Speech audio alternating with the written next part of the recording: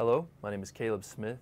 I am an Erlanger children's nurse on the acute care floor, and today I will be discussing diabetes education.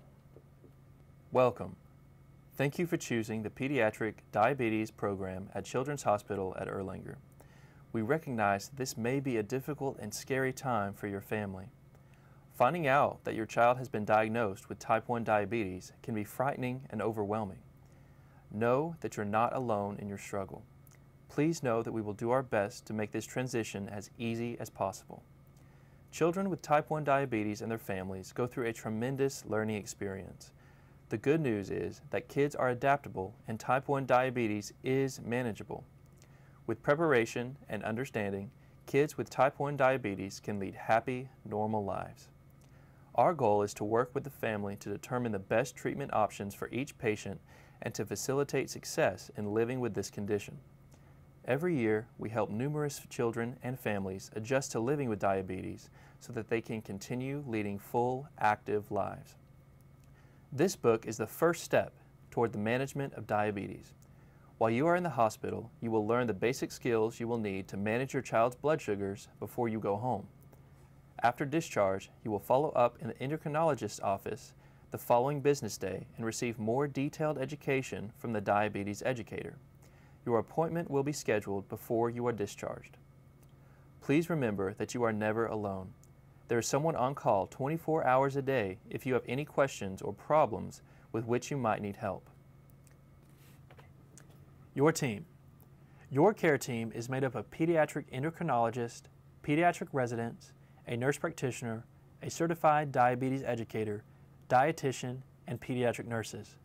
We work as a team to help families gain the knowledge and skills necessary for managing diabetes. You're encouraged to let us know about any concerns you may have with your child's health, development, or care at any time. Listed below are our physicians, our nurse practitioner, our diabetes educator, and our pediatric nurses. How to reach us. Appointments can be made at 423 778 5437. For non-urgent issues, general questions, and laboratory results, please call 423-778-5437 or send us a message through MyChart. For prescriptions, call your pharmacy and ask them to send an electronic prescription refill request to us. Please allow 48 hours for your prescription refills. To fax, you can use 423 778 5537 2. For school, camp, and sport forms, please ask the school nurse or camp to fax us their forms. Allow five business days to complete. If your child is sick or has ketones, please call 423 778 5437. This is also our emergency beeper number after hours. In case of any emergency, call 911. If your child has severe low blood sugar and requires glucagon, please call 911. Our locations include Children's Endocrinology Kennedy Outpatient Center at 900 East 3rd Street, Chattanooga, Tennessee 37403, and at Erlanger East Hospital, located at 1635 Gun Barrel Road, Physician Building C, Suite 410, Chattanooga, Tennessee 37421. Both locations can be reached through our main phone number at 423 778 5437. Day 1. So, what is diabetes? Diabetes is a chronic condition that develops when the body no longer produces enough insulin or the insulin it makes does not work effectively. Insulin is a hormone produced by the pancreas that allows your body to use sugars from the foods you eat. Think of insulin as the key that unlocks the cell, allowing sugar to enter the cell and be used as energy. Without insulin, sugar cannot enter the cells in your body and cells begin to starve. Your body will work to break down fat for energy. When fat is used for energy, an acid called ketones is produced as a byproduct. Excess ketones will make you very sick. If ketones become excessive, it can lead to a life-threatening condition called diabetic ketoacidosis, or DKA. Type 1 diabetes. In type 1 diabetes, the pancreas releases little or no insulin. The body's immune system turns against itself in type 1 diabetes, destroying the pancreas cells that produce insulin. If you look to the figure on the bottom left, it shows insulin as the key to the cell. Insulin, again, is a key that unlocks the cell. It allows sugar to enter the cell and be used as energy. The classic symptoms of diabetes include frequent urination, frequent drinking, weight loss despite normal or increased appetite, fatigue, tiredness, possible nausea or vomiting, and possible behavioral changes. So the causes of type 1 diabetes. Type 1 diabetes is an autoimmune condition that can develop at any age. While the immune system attacks the pancreas is not known. Genetic tendencies and the environment may play a role in why an individual develops type 1 diabetes. Scientists are working on answering the why. Even though the why is unknown, we do know that a person with type 1 diabetes must take insulin every day to stay alive. It is important to remember that diabetes is not your fault. So let's look at how glucose builds up in the bloodstream. One, the stomach changes food into glucose. Two, glucose enters the bloodstream. Three, the pancreas makes little or no insulin. Four, little or no insulin enters the bloodstream. And five, glucose builds up in the bloodstream. As you can see in this figure, when glucose builds up in the bloodstream and insulin is not allowed into the cells, it creates the condition known as diabetic ketoacidosis. The most common form of diabetes is type 2. It occurs mainly in adults, but with the increase in childhood obesity rates, children are also developing type 2 diabetes. A child is more likely to develop type 2 diabetes if he or she has the following risk factors family history of type 2 diabetes, overweight or obese, a non-active lifestyle, race ethnicity backgrounds including African American, Asian American, Hispanic Latino, American Indian, Native Hawaiian or other Pacific Islander. In type 2 diabetes, the pancreas is still producing some insulin. However, the body's cells do not respond as they should. This is called insulin resistance. When the cells are resistant, it takes more and more insulin to move glucose into, the, into blood cells. This extra insulin may keep the blood sugar close to normal for many years, but type 2 diabetes is a progressive condition. Eventually, the pancreas cannot keep up with the demand for more insulin and burns out. When there is not enough insulin produced by the pancreas, the blood glucose level increases over the years, the pancreas may stop making insulin altogether. In the figure below, we discuss the type 1 and type 2 diabetes differences. In type 1 diabetes, the pancreas stops making insulin. The treatment must include daily insulin. About 10% of all cases of diabetes, they are more common in children. And in type 1 diabetes, there's no family history most of the time. In contrast, type 2 diabetes, the pancreas produces insulin, but the body cells cannot use the insulin properly. Insulin may be necessary at time of diagnosis. Treatment always includes diet and exercise. Medications are often used, insulin and or oral medications. About 90% of all diabetes cases are type 2. It's more common in adults and in type 2 diabetes, there is a family history most of the time. So, how is a diagnosis made? Ways to diagnose type 1 or type 2 diabetes. A fasting plasma sugar test. For this test, a person fasts overnight. Blood is drawn from the vein and tested. If the sugar level is 126 milligrams per deciliter or higher, this is considered a positive test for diabetes an oral sugar tolerance test, or OGTT. For this test, a person fasts overnight. After the person drinks a solution of 75 grams of sugar dissolved in water, blood is drawn from the vein and tested. If the sugar level is 200 milligrams per deciliter or higher, this is positive for diabetes. A random blood sugar test. For this test, blood can be drawn at any time. Blood is drawn from the vein and tested. If the sugar level is 200 milligrams per deciliter or higher, and the person has classic symptoms of diabetes, such as excessive thirst and excessive urine output and weight loss, this is positive for diabetes. Hemoglobin A1C test. For this test, blood can be drawn at any time. Blood is drawn from the vein or fingertip and tested. If the A1C results are equal to or greater than 6.5%, this test is positive for diabetes. So, I have diabetes. Now what? Living with diabetes is not easy. The choices you make will have an impact on your blood sugar levels each day. But diabetes can be managed. Diabetes is a self-managed disease.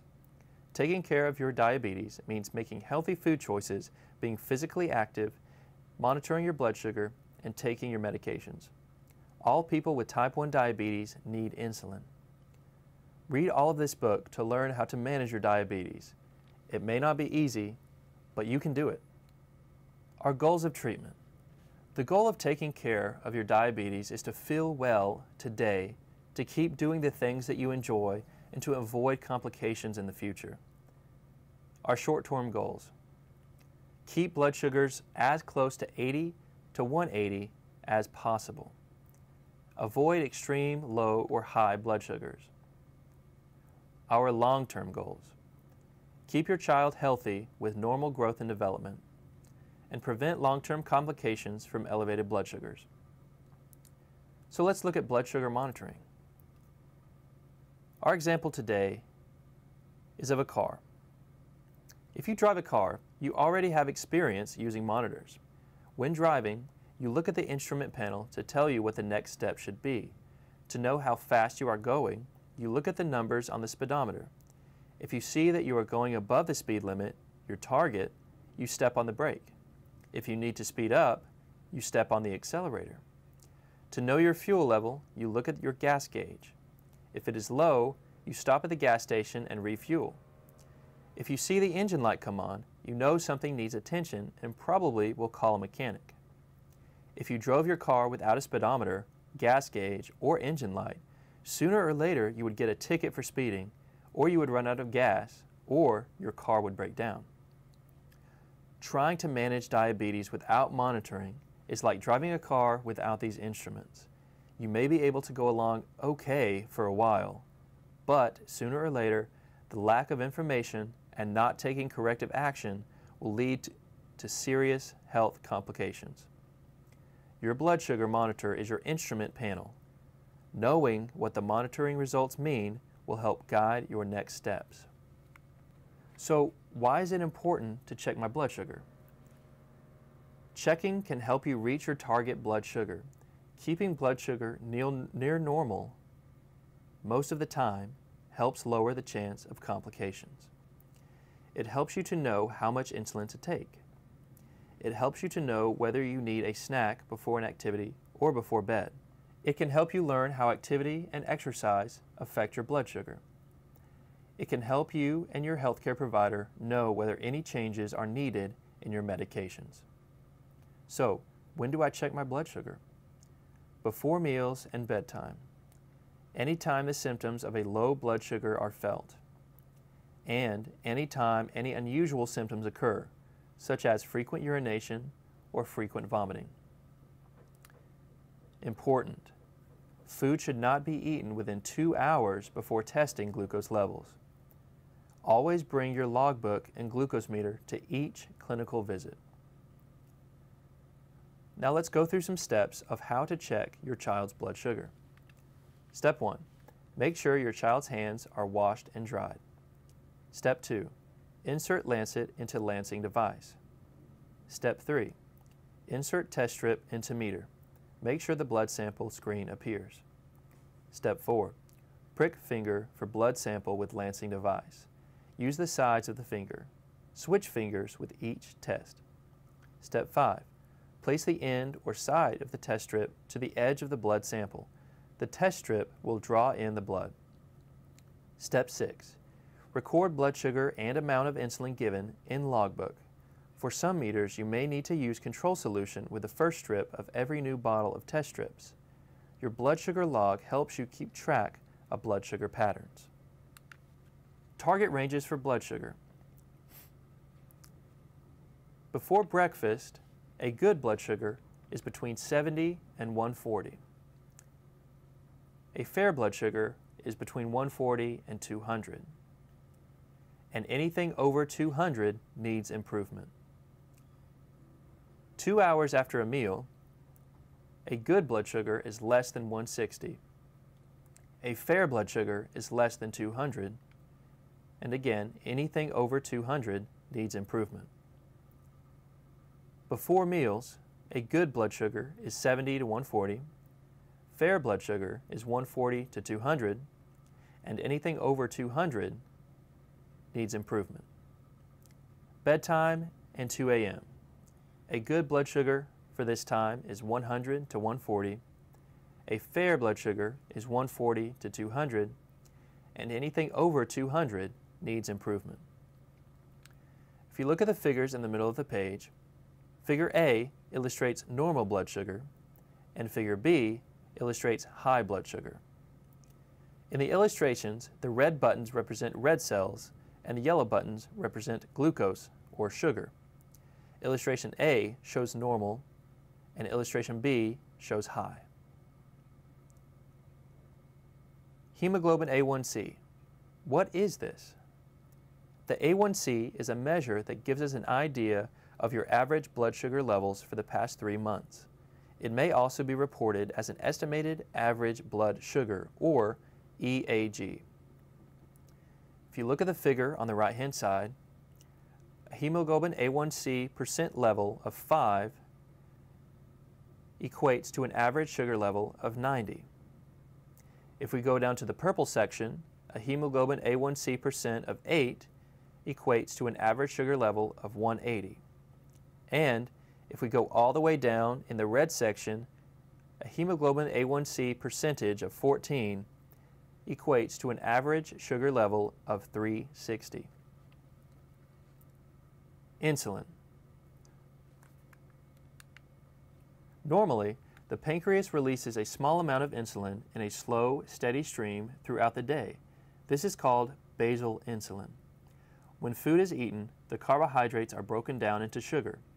When you begin to eat and your sugar goes up, a burst of insulin, also known as bolus insulin, is released from the pancreas into the bloodstream. Insulin moves the sugar from the bloodstream into the body cells. Cells use sugar for energy. When a person has type 1 diabetes, the body cannot make insulin. Insulin is needed to regulate blood sugar levels and maintain life. Why do you need insulin injections? Your pancreas is not producing insulin or producing enough insulin. Insulin cannot be taken by mouth because it is destroyed in the stomach by the digestive juices. Insulin injections can be given by syringe and needles, insulin pen, or an insulin infusion pump. Our strengths of insulin. Insulin is measured in units. All insulin is a liquid. The standard and most commonly used strength in the United States today is U100. This means it has 100 units of insulin per 1 milliliter of fluid. Insulin sometimes comes in other strengths. Let's look at the types of insulin. Our rapid-acting insulin, also known as bolus insulin, comes in these different forms. Lispro, glulisine, faster acting aspart, Lispro, and regular aspart. Pre-mixed, we have Humalog mixed in a 75 to 25 ratio. We have Humulin mixed in a 70 to 30 ratio. Novolog mixed in 70 to 30 ratio. Our short-acting insulin is also called regular insulin. Intermediate-acting insulin is known as NPH. Our long-acting insulins, also called basal insulin, are Glargine, Detemir, and Degludec. In the figure on the bottom right-hand side, you will notice a scale.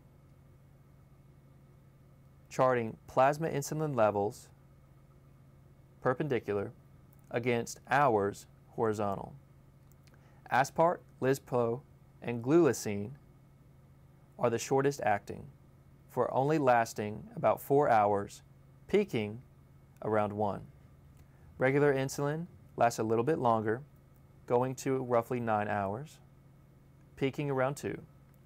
NPH drops off at 18 hours, peaking around six. Detemir, our long acting insulin, lasts roughly 20 hours and peaks around 12. Glargine rises and peaks at 2 hours and remains steady past 24. Insulin activity. There are many types of insulin and they work at different times after they are injected. Onset of action. When the insulin first starts to lower the sugar levels. Peak. The time when insulin is most active. Duration. How long the insulin continues to lower blood sugar in the body. Usually, you need two different types of insulin to treat type 1 diabetes. You need a long-acting basal insulin and a short-acting bolus insulin. In the chart in the middle, we look at which insulin to use and when to take it. Our types of insulin. Fastest acting is our Fiasp. When do we take this? It is taken with meals before or up to 20 minutes after starting a meal and to correct high blood sugar. The onset of Fiasp is 2.5 to 4 minutes. The main effect is 90 minutes, and the duration is 3 to 4 hours. Fast acting Humalog, Novolog, Apidra, and Admelog. When to take this? Taken with meals and to correct a high blood sugar. The onset of fast-acting insulin is 20 minutes. The main effect is 90 minutes, and the duration is 3 to 4 hours.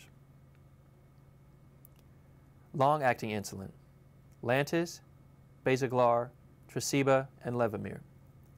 When do we take this? It's taken once a day, usually at bedtime. The onset of action for long-acting insulin is 1 to 2 hours. The main effect can either be 2 to 22 hours or 2 to 20 hours. Duration 24 hours to between 20 and 24 hours. Long acting insulin helps power your body throughout the day. Drawing up insulin and giving an injection. Supplies that you will need include an insulin bottle, an insulin syringe, an alcohol swab, and a container for used syringe. Step 1.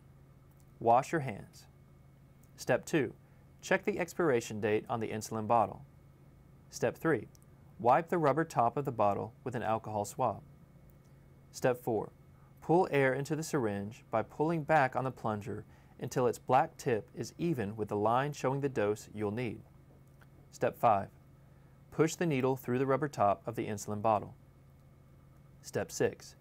Push the air into the bottle. Step 7. Turn the insulin bottle and syringe upside down and pull the insulin into the syringe slowly until the top of its black tip is even with the line showing your insulin dose. Step 8. Be sure there are no air bubbles in the syringe. Even small air bubbles may affect the total amount of insulin given. Step 9. Gently pinch the skin. Hold the syringe at a 90 degree angle to the skin and push the needle all the way in. Storage of insulin. Unopened insulin should be kept refrigerated between 36 degrees Fahrenheit and 46 degrees Fahrenheit and protected from light. Refrigerated, unopened insulin can be used until the printed expiration date. Room temperature insulin, even if unopened, must be discarded after one month opened insulin that is in use at home or traveling should be stored at room temperature less than 86 degrees Fahrenheit. Most brands are good for one month at room temperature after opening. Throw away after 30 days even if some insulin is left in the vial. It is okay to keep the vial you are using in the refrigerator. Cold insulin can be uncomfortable for injections. Never warm insulin in the microwave or by floating in hot water, as this will harm the insulin. Never freeze insulin. If it has been frozen, do not use. Do not keep insulin in the car. It may get too hot or too cold. Injection sites. Insulin is injected into the fat layer just under the skin. The sites that insulin is to be injected into are as follows. Arms. Use the back of the upper arms. Abdomen. Avoid belly button area by two finger spaces. Legs. Use the outer thighs. Buttocks. Anywhere that doesn't touch the bottom of a chair when seated. It is very important to rotate the site of your insulin injection. If you continue to give your insulin in the same site, a fatty deposit known as a lipodystrophy may form. When this happens, insulin may not be absorbed properly and your blood sugar will be too high. How to give an insulin injection. Find a large pinch of skin on one of the four areas listed on page 13. If the pinch hurts, you are pinching too hard or the pinch is too small. Inject the needle straight into the top of the pinch. Inject the insulin slow and steady until the plunger is all the way down. Count slowly to four or five and release the pinch. Remove the needle. Injecting into the same area too many times can cause scar tissue to develop.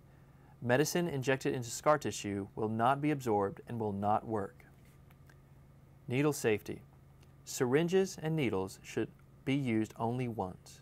Reused syringes and needles are not sterile. Never share used syringes and needles with anyone else. You can pass diseases or spread infection by sharing needles. Disposal of needles and sharps. Place used needles in puncture-proof plastic containers, bleach bottle, liquid detergent bottle, etc. You can also purchase a safety needle box from pharmacies, known as Sharps containers. Dispose of bottle in non-recyclable household trash. How to use an insulin pen. Box 1. Remove the cap. Wipe the rubber stopper with an alcohol pad. Box 2. Attach a new needle. Remove the paper tab from needle. Push and twist the needle onto pin until it's tight. Remove both needle caps. Box 3. Give an air shot before each injection. Turn the dose selector to 2 units. Press and hold the injector button. Look for a drop of insulin. If no drop of insulin, repeat air shot. Box 4. Select desired dose. Turn the dose selector to the number of units you need to inject. Box 5. Inject the insulin. Insert the needle, press and hold the injection button.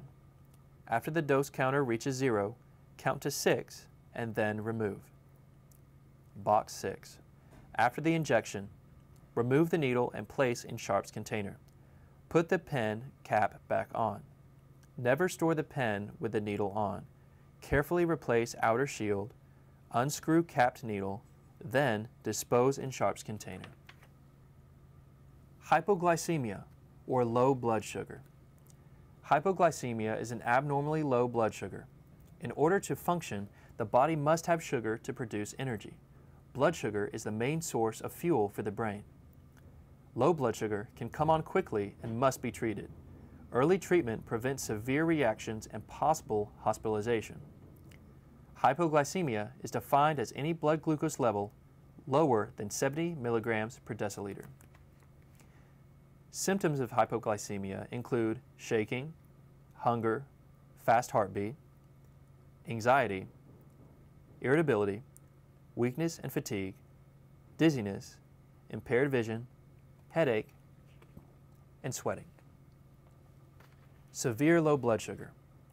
If you are unable to take food or liquid by mouth, a family member or friend will need to give you a glucagon injection.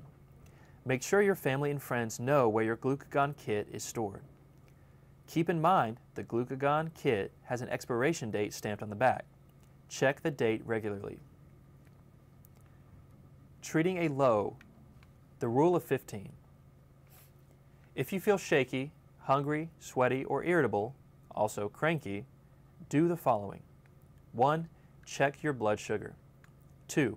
If you are low, less than 70 milligrams per deciliter, eat 15 grams of carbohydrates. 3. Wait 15 minutes and recheck your blood sugar. 4. If you are still low, less than 70 milligrams per deciliter, repeat the process, steps 2 and 3. 5. Once blood sugar is over 70, eat a meal or a small snack if your next planned meal is more than an hour away. Examples of 15 grams of carbohydrates include half a cup of juice, 1 cup 1% or skim milk, half cup 1% chocolate milk, 3 to 4 glucose tablets, 10 to 15 Skittles, or 3 teaspoons of sugar. In our glucagon emergency kit, step-by-step -step instructions are given. It is important that you and your family members or friends read these instructions carefully. Step 1. Remove the flip-off seal from the bottle of glucagon. 2. Remove the needle protector from the syringe and inject the entire contents of the syringe into the bottle of glucagon. Step 3. Remove the syringe and gently shake bottle until liquid is clear. Step 4. Using the same syringe, draw the glucagon into the syringe to the prescribed dose. Step 5. Insert the needle into your child's thigh or hip and inject half an ml if the person is less than 40 pounds. Inject all, or 1 ml, if the person is greater than 40 pounds. Withdraw the needle from the skin. Turn your child onto his or her side in case of nausea and vomiting. Step 6. Call 911.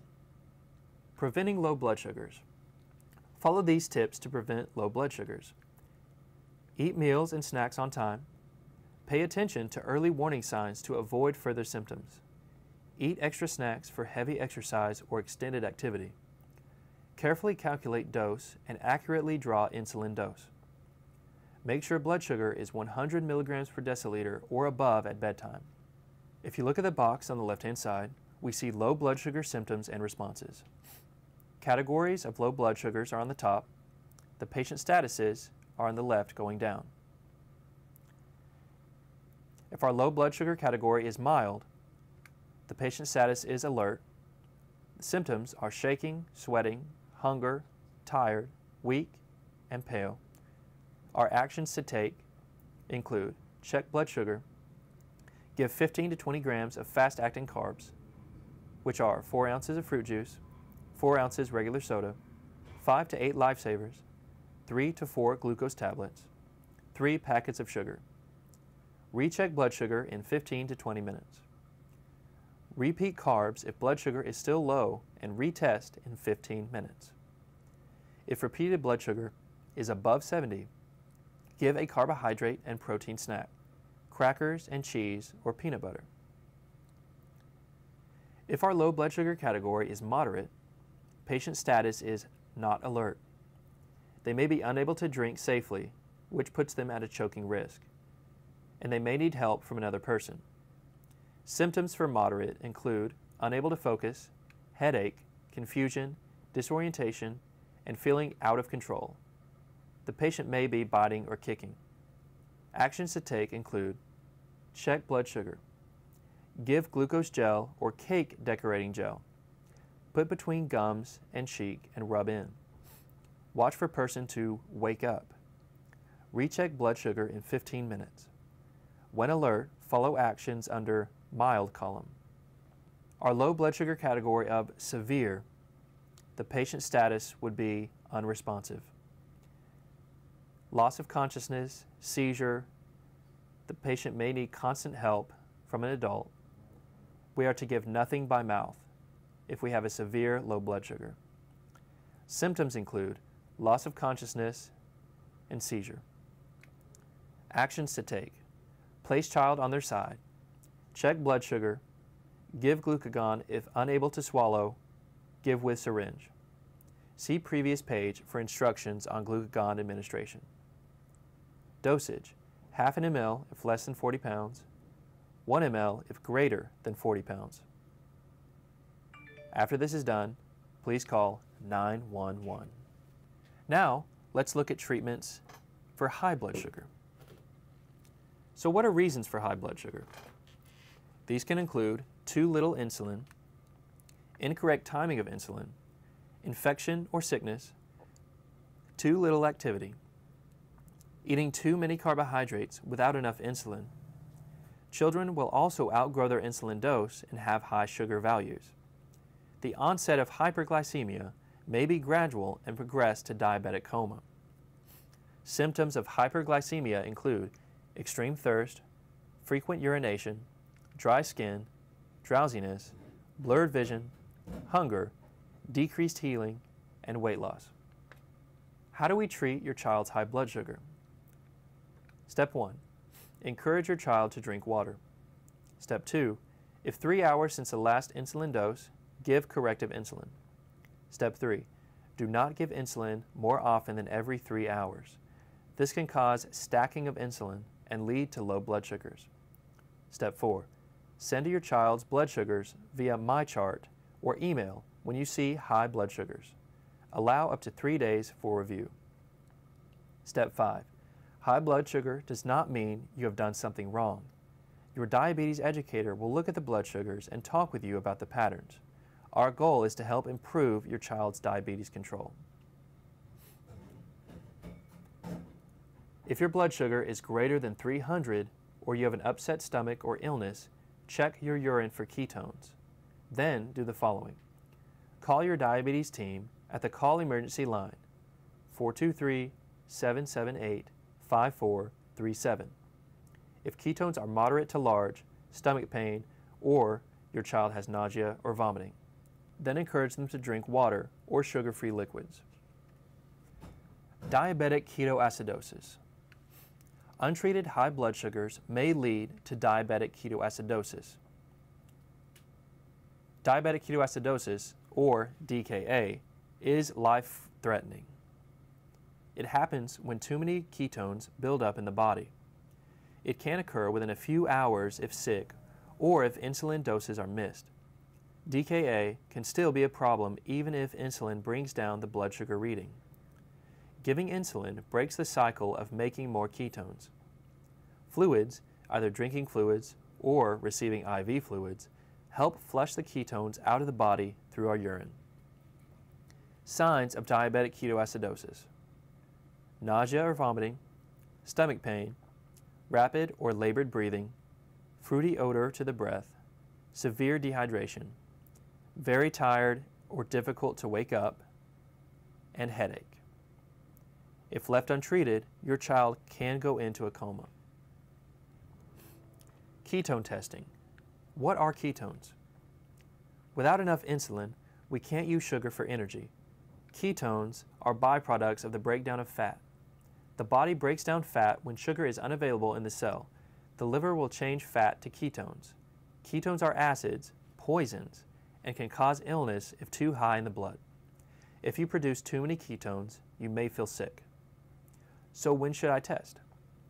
When your blood sugar is more than 300 milligrams per deciliter. If you feel sick to your stomach or vomiting or have abdominal pain. When you are sick, for example, with a cold or flu. If you feel tired all the time. If you have a hard time breathing. When your breath smells fruity. If you feel confused or in a fog. Call 423 778 5437 to reach the pediatric diabetes doctor on call 24 hours a day, 7 days a week. How to test for ketones. 1. Get a sample of your urine in a clean cup. 2. Place this strip in the sample. You also can pass the strip through your urine stream. 3. Gently shake excess urine off the strip. 4. Wait 15 seconds for the strip pad to change color. 5. Compare the strip pad to the color chart on the strip bottle. This gives you a range of the amount of ketones in your urine. A ketone strip test. Keep ketone testing strips at home and at school. Don't wait until you're sick to buy a bottle of strips. Check the expiration date every six months, as out-of-date strips may be inaccurate. Results will either be negative, trace, small, moderate, or large. This is an example of urine test strips. Negative is a beige color. Trace is pink. Small, light purple. Moderate, dark purple. Violet is large. Large is violet. Call the diabetes team immediately if ketone strip results are moderate or large. Reading the results of urine test strips. Less than 0.6 millimoles per liter equals negative. 0.6 to 1.55 millimoles per liter equals trace or small. And greater than 1.5 millimoles per liter equals moderate or large. To note, some meters can test for ketones by blood. You test for blood ketones the same way you check your blood sugar levels. Actions to correct your sugar levels. Trace or small, pink to light purple. Drink plenty of sugar-free fluids like water. If you are sick and your urine shows trace or small amounts of ketones, that is not so bad. Even people who don't have diabetes show ketones in their urine when they are sick. Follow your sick day plan, which includes drinking plenty of fluids and test your blood sugar and urine ketones again in three to four hours. Give insulin correction doses if your blood sugar is high. Moderate or large, dark or purple to violet. If your urine has moderate or large amounts of ketones, know your blood sugar level, give an insulin correction, and drink water, 8 to 16 ounces per hour. Take correction every 2 to 3 hours. If vomiting or unable to drink or eat, go to the local emergency room. Day two. So what about food? A proper diet is an important element of managing your child's diabetes. Understanding the different types of foods and how they affect blood sugar is necessary to an effective diabetes treatment plan. With this knowledge in hand, you can better meal plan for your child. Meal planning basics. Food is made up of carbohydrates, protein, and fats. Carbohydrates are the part of food that has the biggest effect on blood sugar levels. Carbohydrates make your blood sugar go up. Everyone needs some carbohydrates to function normally. There are a lot of carbohydrates in sweets. The goal is to limit concentrated sweets such as juice, sweet tea, regular soda, Sunny D, Gatorade, ice cream, cakes, cookies, and candy. All people, those who have diabetes and those who do not, should limit concentrated sugars. Diet and exercise are extremely important factors in controlling blood sugar levels. Your dietitian will help you understand how to plan healthy meals. If you look at the figure on the right hand side, food is made up of carbohydrates, fruits, vegetables, and grains, proteins, which include meats, peanut butter, eggs, and cheeses, and fats, oils, nuts, and even from some fruits and meats. Um, if you look at the figure on the left-hand side, it is split up between foods that affect blood sugars and foods that do not. Foods that do affect blood sugars include grains, such as bread, cereal, pasta, or rice, fruits and fruit juices, starchy vegetables, which include beans, corn, peas, and potatoes, and dairy, including milk, yogurt, and yogurt drinks. On the right-hand side, foods that do not affect blood sugars are proteins, which include meats, tofu, eggs, peanut butter, cheese, and nuts, and fats, including oils, butter, margarine, and salad dressing. General food guidelines. Do not try to maintain a low carb or no carb diet. Growing children need carbohydrates. Avoid buying separate food for your child with diabetes compared to others in the household. Keep a healthy diet for all members in the home. It can be very hard to resist sweets and junk food if it is in the home and others are eating it. Don't use food as a reward. Eat a well-balanced diet. Make half of your plate fruits and vegetables. Make a fourth of your plate grains. Make a fourth of your plate protein. Include low-fat dairy. Limit pure sugar foods, such as candy, soda, or fruit juices. Increase fiber by eating whole grains and whole fruits and vegetables. Now we look at healthier meal and drink choices. On the left-hand side, we look at things that we need to avoid and may not be so healthy for us. And on the right-hand side, we see things we can enjoy and are healthy choices. On the left, beverages to avoid include regular soda, such as Sprite, Dr. Pepper, and Pepsi, juice, even 100 juice drink, lemonade and sweet tea, Kool-Aid, Powerade, and Gatorade. Breakfast, not so healthy, would include Pop-Tarts, toaster strudel, and sugary cereals. A lunch that's not so healthy would include large portion of chicken nuggets and fries, grilled cheese and potato chips, or pizza or bacon cheeseburger with soda. A dinner that's not so healthy looks like large spaghetti plate and garlic bread, country fried steak and large serving of rice. Snacks that are not so healthy include icing, frosting, candy such as Skittles, Sour Patch Kids, M&Ms, fruit gummies, etc., ice cream and milkshakes, and ramen noodles. Now we look at beverages to enjoy. Water, diet soda, such as Diet Sprite, Diet Pepsi, etc. Sugar-free beverages, including Crystal Light, sugar-free drink mixers, unsweet tea, etc. And Powerade Zero and Gatorade G2. A healthy breakfast might look like eggs, unsweetened oatmeal with fresh fruit, whole wheat waffle with peanut butter, fruit, and yogurt. A healthy lunch might look like small portion of chicken nuggets with dinner roll, vegetables, and fruit.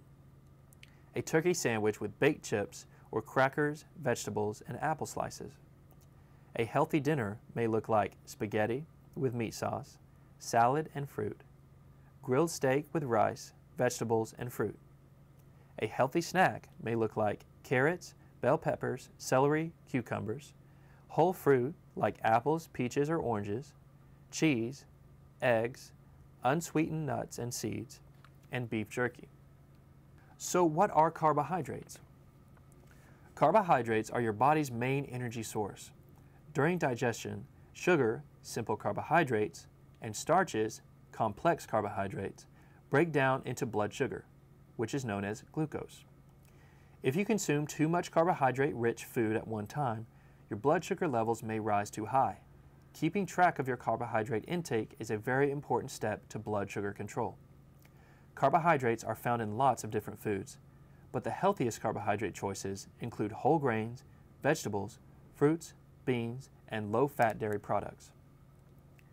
Foods that contain carbohydrates are starchy foods like bread, cereal, rice, pasta, and crackers, fruit and juice, milk and yogurt, dried beans like pinto beans, black beans, and kidney beans, starchy vegetables like potatoes, peas, and corn, non-starchy vegetables such as green beans, carrots, broccoli, tomatoes, okra, cabbage, greens, cucumbers, and cauliflower, sweets and snack foods like soda, juice drinks, cake, cookies, candy, chips, and ice cream. Carbohydrate counting. Your diabetes meal plan will either be a fixed carbohydrate goal or an insulin to carbohydrate ratio. If your child is 0 to 6 months, feed on demand every 3 to 4 hours. If your child is 6 to 12 months, feed 3 meals and 3 snacks, no juices. If your child is 1 to 3 years old, feed 25 to 40 grams carbohydrates per meal feed less than 6 grams of snacks between meals and at bedtime. If your child is between 4 and 7 years old, feed 35 to 50 grams of carbohydrates per meal.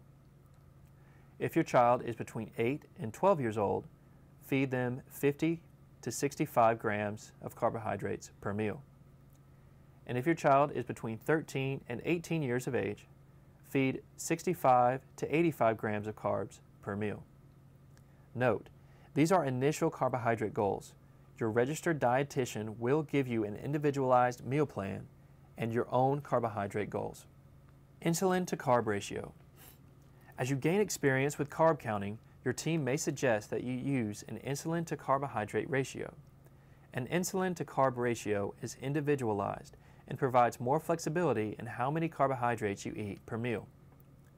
The ratio will help you give your child the appropriate amount of insulin for the number of carbohydrates he or she is eating. An example, if your insulin to carb ratio is 1 to 15, then you give 1 unit of insulin for every 15 grams of carbohydrate eaten. In the chart in the middle of the page, our counting carb example is breakfast. One egg is 0 grams, a slice of toast is 15 grams, one tablespoon of sugar-free jelly is 5 grams, one teaspoon of butter is 0 grams, 17 grapes is 15 grams, one cup low-fat milk is 12 grams, for a total gram carbohydrate of 47 grams. So if we are to calculate our insulin to carb ratio of 1 to 15, we have 47 grams of carbs over 15 equals 3. We would administer 3 units of insulin. To help measure your food, you can use measuring cups or a food scale. There are food scales that simply weigh the food, and there are more elaborate ones that include food databases and calculate the number of carbohydrates based on the food and its weight. In the chart, we have 15 gram carbohydrate choices per serving. Under the breads, grains, and cereals column, one ounce of bread product, one slice of bread, 16 inch tortilla, two hard taco shells, or one small waffle, one mini bagel, or half a biscuit, a third cup of rice, half cup of quinoa or pasta. Check label for different serving sizes. Half cup cooked cereal, cream of wheat, regular oatmeal, or grits, 3 quarter cup cold cereal, check label as portion sizes vary, 3 cups popped popcorn. Under the fruits and juices column, 1 small apple, orange, peach, or half a banana, half cup canned fruit in its own juice, 1 cup strawberries, raspberries, or melon, 3 quarter cup blueberries, 2 tablespoons dried fruit, half cup 100% fruit juice. Under the milk and dairy column, 1 cup dairy milk, 6 ounces plain or sugar-free yogurt. Under the vegetables, beans, and legumes column, half cup potato, sweet potato, corn, black-eyed peas, English or sweet peas. Half cup cooked beans, such as lima beans, pinto, black, kidney, or lentils. A third plantain, green or yellow. 3 quarter cup butternut squash, half cup acorn squash, half cup carrots, green beans, or broccoli. Under the sweets, desserts, and snacks column, 3 quarter ounce snack food such as pretzels or 4 to 6 crackers, 1 ounce baked chips, potato or tortilla, or 10 pita chips, 1 ounce regular chips, potato or tortilla, 2 small sandwich cookies, 5 vanilla wafers, 1 tablespoon sugar, honey, or maple syrup, a third cup regular ice cream. Food labels. When eating foods with labels, you will need to look at three sections on the label the serving size, the servings per container, and total carbohydrates. On the image on the right hand side, we see nutrition facts. Check the serving size, located at the top of this label. In this instance, the serving size is half a cup or 40 grams, and the servings per container is 13. Total carbohydrates. In this instance, on this label, our total carbohydrate count is 27 grams per serving. Right above, the section in yellow is listed total fat, including saturated fat and trans fat, cholesterol, and sodium. We want to eat less of these. In the bubble on the left-hand side, we see that low-fat foods are good, 3 grams or less per serving. In the blue bubble, high-fiber foods are good, 3 grams or more. Cooking from scratch. When cooking foods that do not have a nutrition facts label, it is important to still calculate the number of carbohydrates. Follow the recipe and count carbohydrates for each item.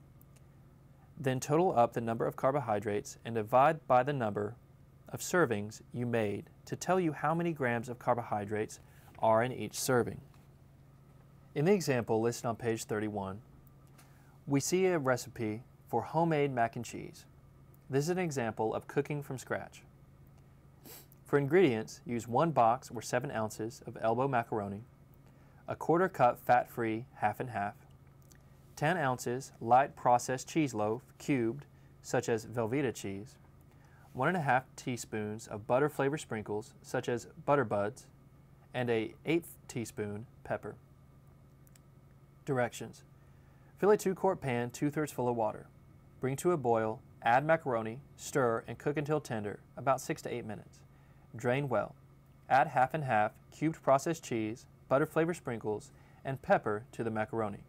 Place over low heat and cook until cheese is melted. Gently stir periodically. This makes five cups. Serving size is half a cup. Nutrition facts per serving. Calories 135. Carbohydrates 19. Protein 8 grams. Fat 3 grams. Saturated fat 2 grams. Sodium 445 milligrams. And fiber 1 gram. Our low carb snack guide. Hungry for a snack but don't want to take a shot? Try one of these low carb snacks, 5 gram carbs or less. Remember, if you eat 2 to 3 of these snacks together, it adds up to 10 to 15 grams of carbs, and then a shot may be necessary. A quarter cup mixed nuts, such as almonds, peanuts, pistachios, or walnuts. A quarter cup seeds, such as sunflower or pumpkin. One ounce low fat cheese, any soft or hard, with two to three baby carrots one slice lean cold cut turkey or low fat ham rolled up in a leaf of lettuce. You may add mustard or pickle. Half cup raw vegetables, baby carrots, celery, peppers, cucumber, with half cup cottage cheese, low fat ranch, or sour cream dip. Half cup low fat cottage cheese or sour cream with two to three sliced strawberries. Half cup tuna, egg, or chicken salad with light mayo 1 cup salad mix with oil and vinegar, 3 to 4 celery sticks with 1 tablespoon natural peanut butter or cream cheese, 1 serving sugar-free jello with light whipped cream, 1 Dannon Light and Fit carb and sugar control smoothie, 1 Dannon Light and Fit carb and sugar control yogurt, 1 sugar-free popsicle, half cup ricotta cheese with cinnamon, vanilla extract, 4 to 3 nuts, and Splenda, three to four pickles, or five to six olives with one ounce low fat cheese.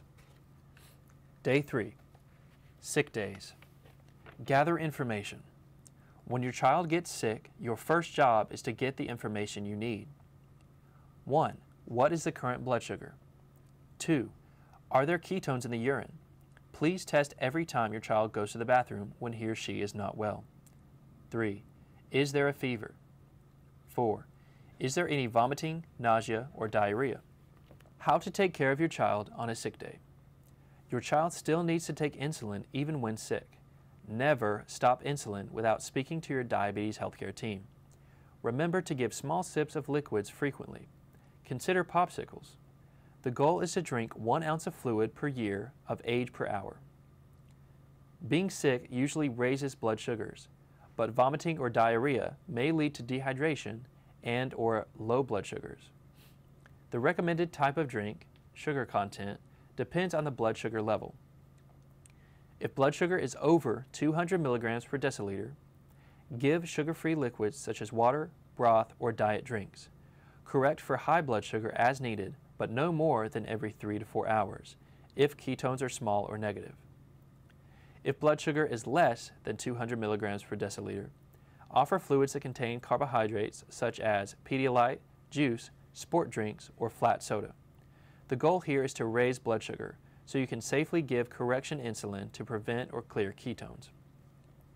Test blood sugar and urine ketones frequently. Check them every two to three hours, especially if they are running very high or very low. If ketones are present, refer to the Ketone Sick Day Guidelines on page 34. Do not leave your child at home. Call your child's pediatrician if your child has a fever over 100.4 Fahrenheit for more than 24 hours. if your child has a condition you are concerned about and it is not affecting your child's blood sugar. Go to the nearest hospital if your child has difficulty breathing or having to breathe very deeply. If your child has signs of dehydration, such as unusual sleepiness or is difficult to wake, has dry mouth and skin, sunken eyes, or if your child goes an unusual amount of time without urinating. You will see your primary care doctor for well visits, annual school and sports physicals, immunizations, and non diabetes related illnesses. Sick day management guidelines. If your child is experiencing no vomiting or has trace or small ketones, give basal insulin. Give the usual dose at usual time. Correction bolus, correct blood sugar every four hours. Our carb bolus, cover all carbs. Extra fluids. If blood sugar is less than 200, give sugar containing fluids. If blood sugar is greater than 200, give sugar free fluids, 1 ounce per year of age. Blood sugar ketone check. Check blood sugar every two hours. Check ketones every trip to the bathroom. If your child has no vomiting, but has moderate to large ketones,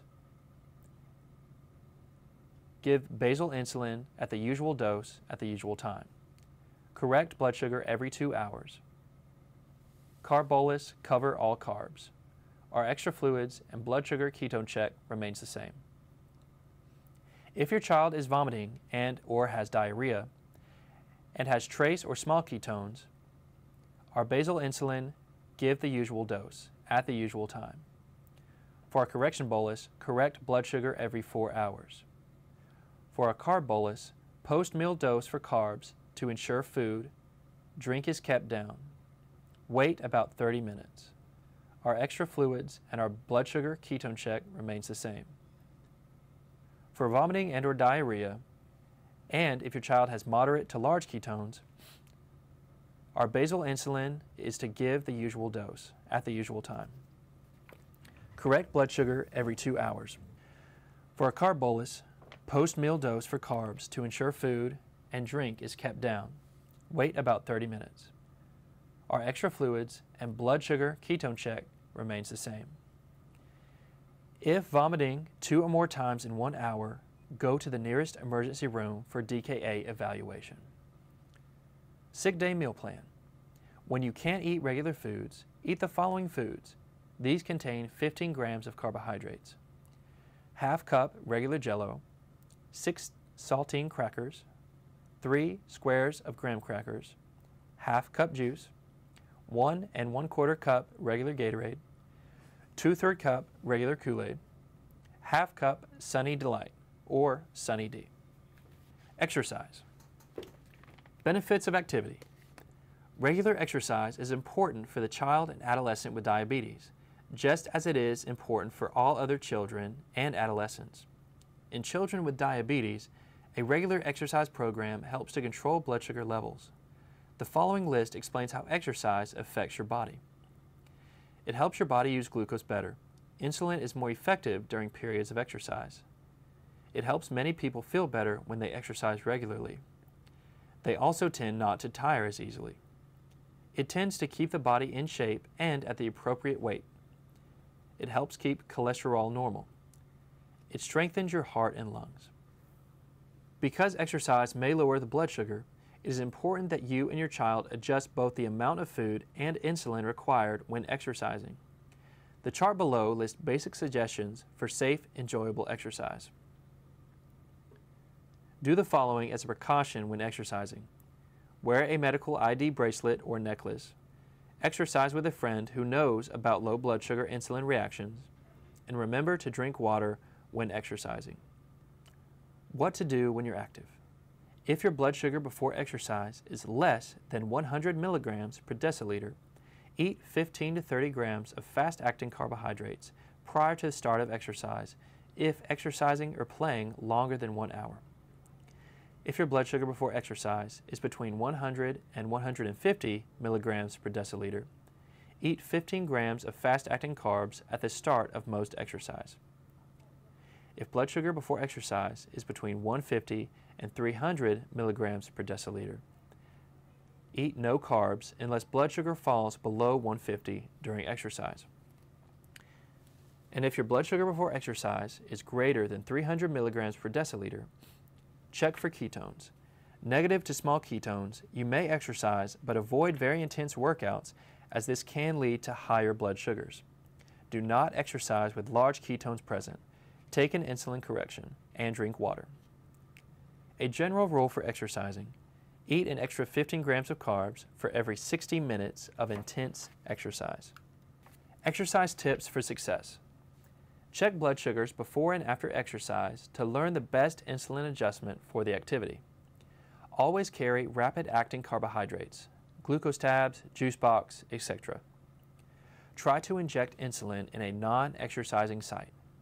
Do not exercise if large ketones are present in the urine. The presence of ketones indicates the need for additional insulin, water, and rest. Make sure coaches and teachers know about your diabetes and how to treat low blood sugar reactions. Drink plenty of water, especially in hot weather. In some instances, you may need to lower the insulin dose prior to the exercise if there is a planned all-day exercise, such as hiking, boogie boarding, or biking for several hours straight. Talk to your doctor about insulin dosing for high activity days. But don't forget to have fun. Frequently asked questions. How will physical activity affect my child's blood sugar? Physical activity and general play, for example, playing at the playground with friends, playing tag, catch, or riding a bike, will usually lower a child's blood sugar. The sugar moves from the blood and into the muscles, where it can be used for energy. Some activities, for example sprinting or weightlifting, may raise the blood sugar first and lower it later due to adrenaline or stress hormones. Should I let my child be active? Absolutely. General activity is good for building endurance, muscle strength, and cardiovascular or heart fitness. Plus, it's fun and may improve mood. We recommend less than two hours a day of total combined screen time, including TV, computer, video games, and cell phone use, and at least one hour of physical activity per day.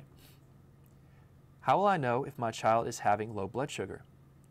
Parents often worry about low blood sugars.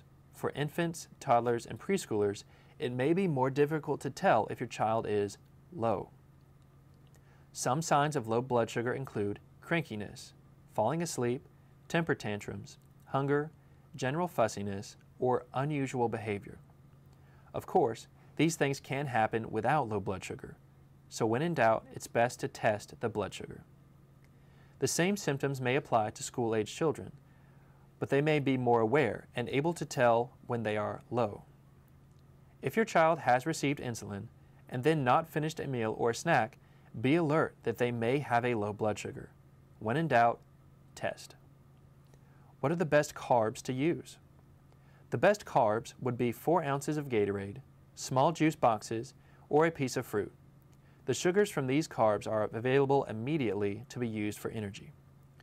For longer periods of exercise, you may choose a snack which mixes a little protein or fat, such as a granola bar or half a peanut butter and jelly sandwich, or small apple with peanut butter or cheese. Know which snacks to eat when your blood sugar is low. More frequently asked questions Are there any activities or situations which may be more likely to cause low blood sugars? Certain activities like running, trampolines, and swimming may burn a lot of calories and cause lows more quickly. Because of safety issues, always test blood sugar before these activities. Active birthday parties, such as indoor trampoline parties, may also burn a lot of calories. Looking for trends in blood sugars is helpful. Different activities affect the blood sugar in different ways, but it is not possible to always predict exactly how your child will respond. As time goes on, you will become familiar with the different effects of various activities. For example, if you notice that every time your child goes swimming after dinner, the blood sugar is low in the middle of the night or in the morning, you can either give a snack with carbs and protein, example, cold cereal and milk, at bedtime or lower the Lantus dose at bedtime by 10 to 20 percent. What about sports and school-age children? In general, younger children playing sports in a recreational setting, such as basketball, baseball, football, or soccer, can test their blood sugar before activity and have an extra 15 gram snack. For high levels of activity lasting more than one hour, test after an hour and give additional snacks as needed. You may also want to test at the end of activity. Some activity, for example playing outfield baseball, may not be very active and your child may not need additional snacks. Diabetes at school. How to manage diabetes at school. Before school starts, contact the school nurse or principal to tell them your child has diabetes. You may need to schedule a meeting with school staff. Parents or guardians are responsible to keep diabetes supplies at school. Insulin, syringes and pen needles, blood glucose meter, test strips, glucagon, ketone test strips, juice boxes, or glucose tablets. Make sure that the school always has correct parent-guardian contact numbers. Complete a diabetes medical management plan each school year. A diabetes medical management plan. The school must have a written document which outlines how to safely meet the child's daily diabetes self-care needs. The plan needs to be updated every school year. Your diabetes team will give you a new school plan each year. Children with diabetes are protected under the Americans with Disabilities Act. Talk to your school nurse, counselor about which form or forms you need to be placed in the child's school. Traveling with diabetes. Whether you are taking a leisurely vacation or going on an adventure, the key requirement for your child to feel great is to be prepared for the expected as well as the unexpected. To help you out, our diabetes team has compiled tips and information to make your child's trip a healthy one. General travel tips. Ask your healthcare provider for a letter explaining your diabetes medications and supplies. Wear a medical identification bracelet that says you have diabetes. Check your blood sugar more often since changes in your routine may affect your blood sugar. Be aware of your blood sugar level when deciding to drive. Do not leave your medications in a car trunk or glove box, in a backpack or cycle bag, or near a window where they may get too hot or cold. Before leaving home, pack your small diabetes supply carry-on bag, including bottle with cap to use as a sharp container, insulin with syringes, pens, or pump supplies, glucose tablets or other sugar source, blood glucose meter with spare batteries, alcohol wipes or hand washing gel, thermometer, glucagon emergency kit, test strips and lancets, cotton balls or tissues, snacks such as crackers or dried fruit. If you're flying, keep your diabetes supplies with you in your carry-on baggage. Do not pack them into the luggage you are checking. Pack twice as much medicine as needed. Know your health insurance policy regarding emergency care out of state. Get an extra paper copy of prescriptions if your travel will be extended. Make a copy of your emergency phone numbers and insurance cards. Make sure your medication has a prescription label on it. Your local pharmacist may be able to provide you extra labels for travel. If you are traveling across multiple time zones, talk to your doctor about changes in the insulin doses with travel. Plan for hot weather. Do you need Frio bag for insulin? Write down your insulin regimen. Take a copy of sick day management guidelines. During your travel, check your blood sugars often. Keep track of what you eat and drink. Be aware that airplane travel can make you dehydrated. Remember to drink water. Be aware that different activities and climates affect blood sugar. Always wear your medical ID bracelet. When traveling abroad, learn how to say the following phrases in the local language. I have diabetes. I need food or juice. I need a pharmacy. I need a doctor. Consider contacting the local U.S. Embassy or consulate at your destination to let them know your travel dates and times. Call the American Diabetes Association, or ADA, at 206 282 4616 for a list of diabetes providers in the area you will be traveling. If you travel to another country and use insulin bought there, it may have a different strength. You will need to adjust your dosage. air travel, and diabetes. The ADA continues to advocate for the rights of travelers with diabetes. Please visit this website and TSA for the most up-to-date information on air travel and diabetes. That is http maindiabetes.org slash dorg slash pdfs slash advocacy slash discrimination slash air dash travel dash and dash diabetes. Diabetes care schedule. Follow-up visits. You will have a follow-up visit with your diabetes team every three months. You can expect the following at each visit.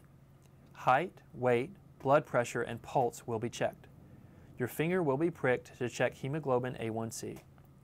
Your doctor will do a physical examination. Your blood sugar log and meter will be reviewed. Your insulin dose may be changed.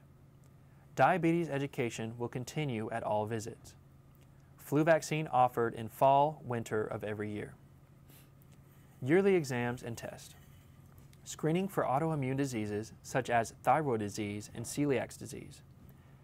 Dilated eye exam for patients who are 10 years of age or older who have had type 1 diabetes mellitus for five years or more.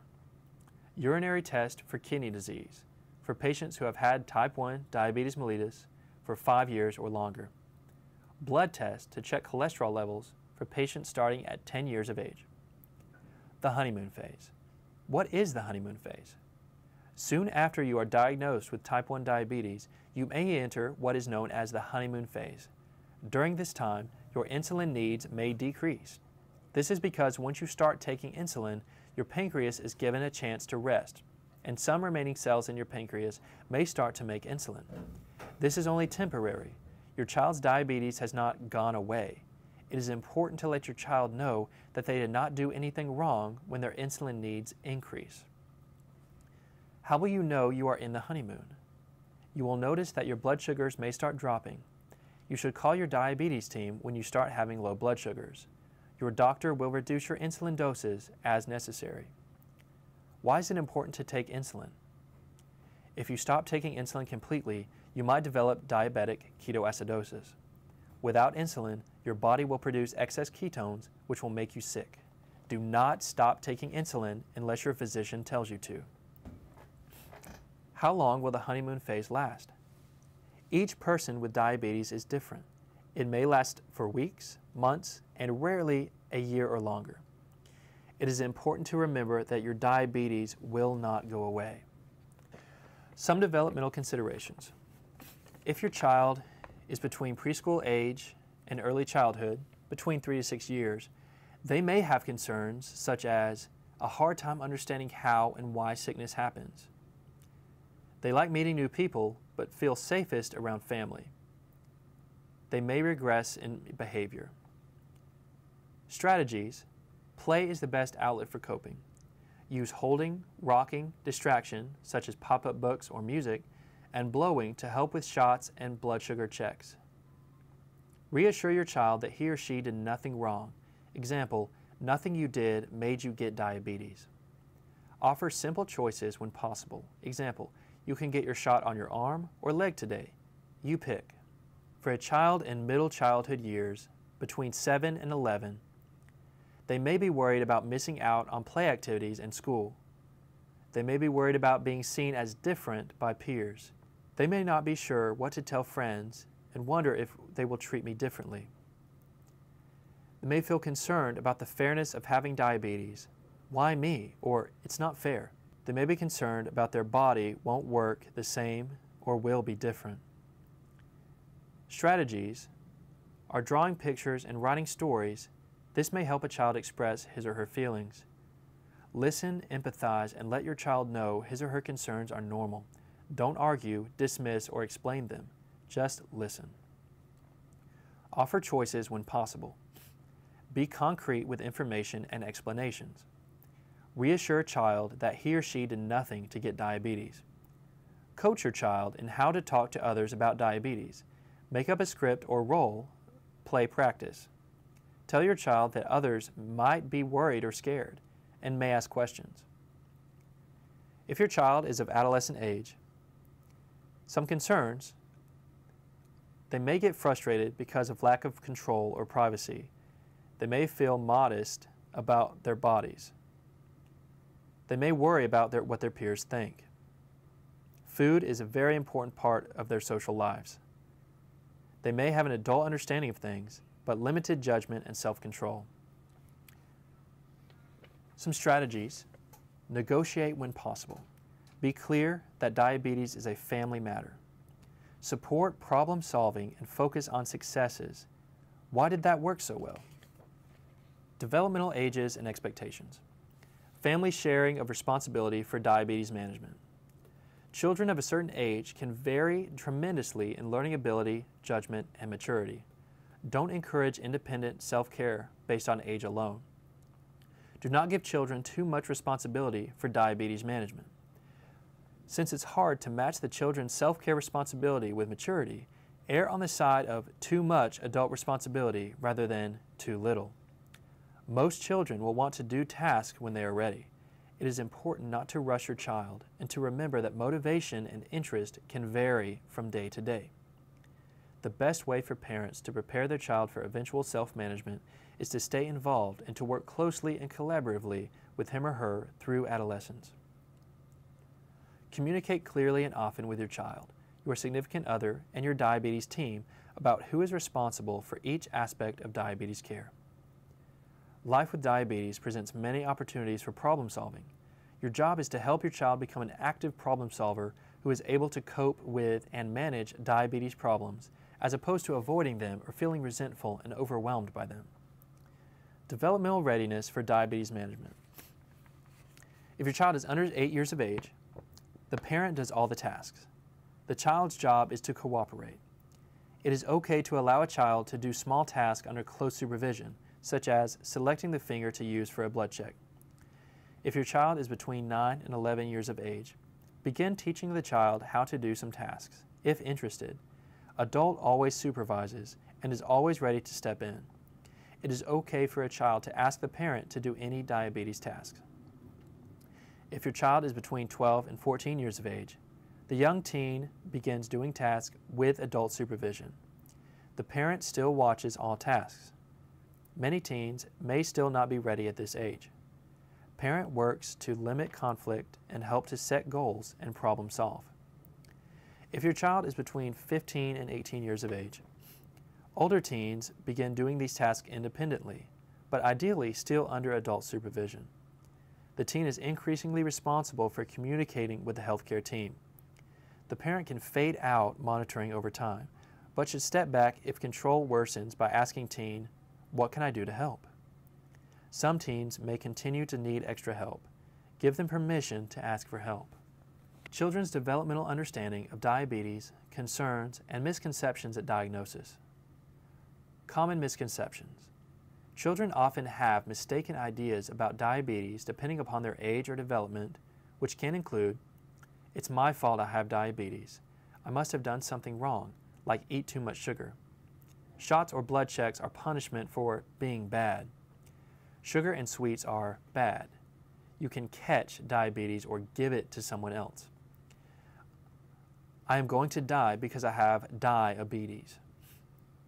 Emotional coping. The period following a diabetes diagnosis can be a time of crisis for some families.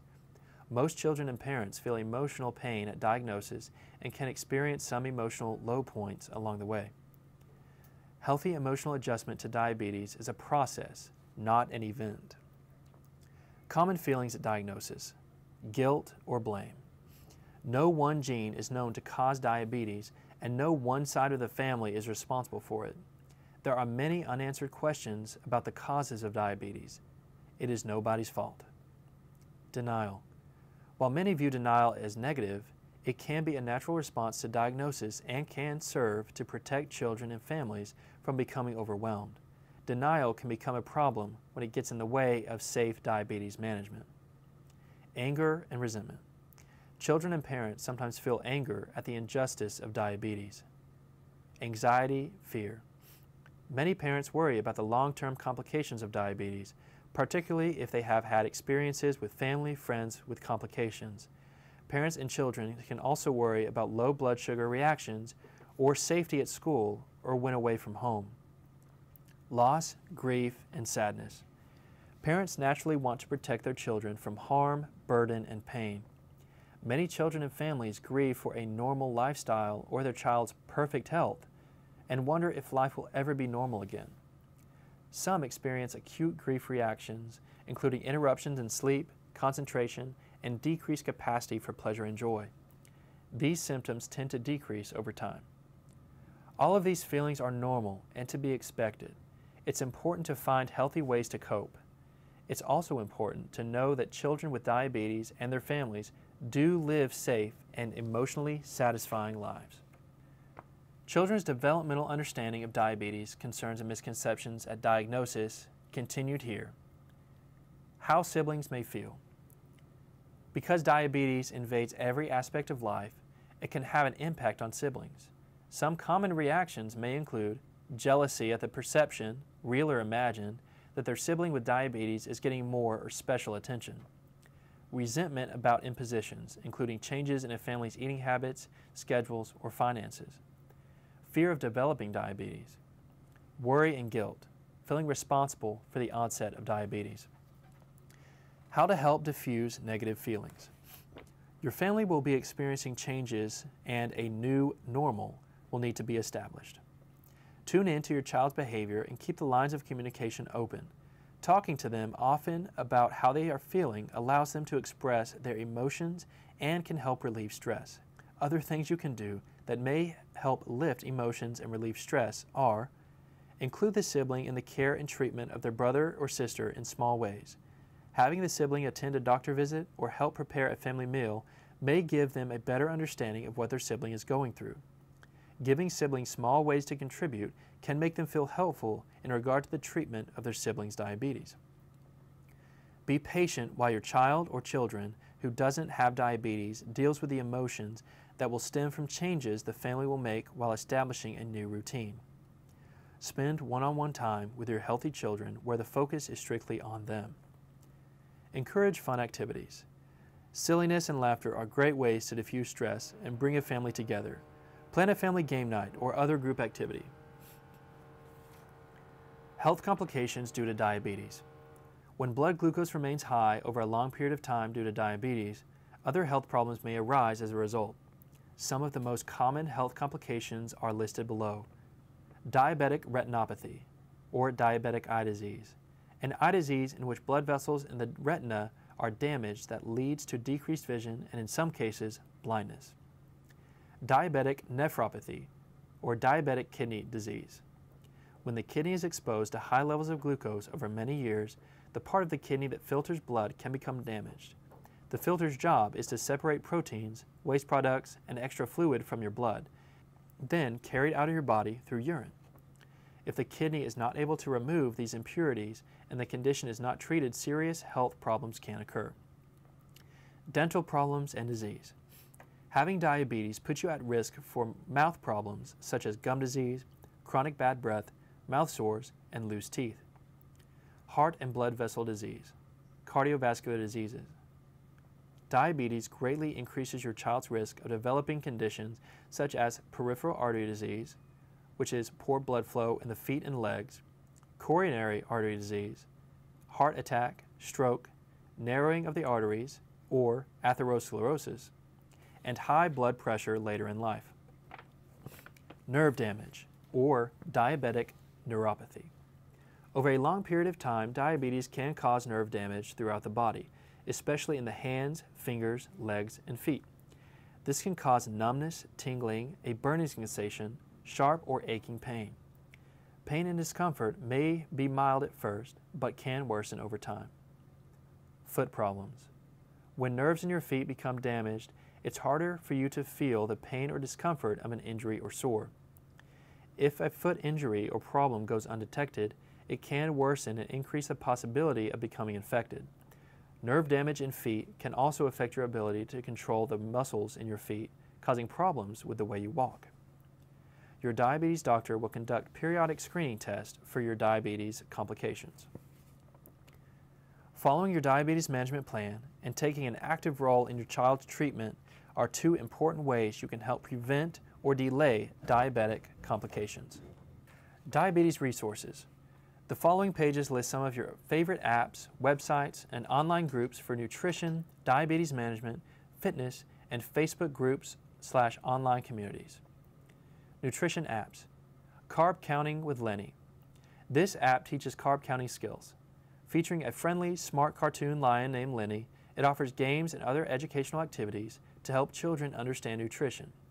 Patients and families can browse photos of common foods to learn how many carbs are in each or play a Does This Have Carbs game to rack up points.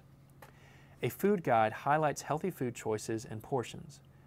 Though aimed at children and young adults, the app may appeal to parents who might find it useful to help keep a kid with diabetes on track. Calorie King. Track calories, carbohydrates, protein, and fiber. This app allows you to compare the nutritional value of foods from a database that includes information about 70,000 foods, 260 restaurants, and fast food chains. Diabetes management apps. My Sugar or My Sugar Junior apps, Logbook, blood glucose scanner, and education. Sugar Buddy has graphs, logbook, an A1C calendar, push reminders, and doctor printout. Glooko. This app allows you to download your diabetes device data to your iOS or Android device, integrate food and lifestyle data, and share reports with your care team. Tidepool Blip. This app acts as a hub for your diabetes data. Blip lets you see data from all of your diabetes devices in one place and lets you add data in real time. Accu-Chek Connect Diabetes Management app allows you to automatically send test results to an app on your smartphone and an online portal. Automatically tracks results, no more written logbook. View results and trend graphs. Text results to a parent or caregiver. Add meal photos to help estimate carbs. Diabetes emoticons.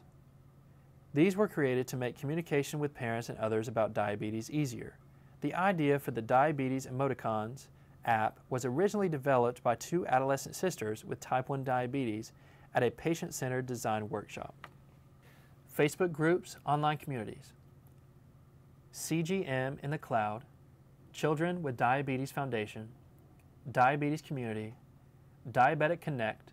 Also visit the website www.diabeticconnect.com, Diabetes Daily, Parents of Children with Type 1 Diabetes, and Teen Diabetes Support Group. College resources. The College Diabetes Network, or CDN, is a nonprofit organization whose mission is to provide innovative, peer-based programs which connect and empower students and young professionals to thrive with diabetes. They also provide information on scholarships for those living with diabetes. Students with Diabetes aims to create a community and connection point for young adults with diabetes ages 18 to 30 on both college campuses and in local communities across the country.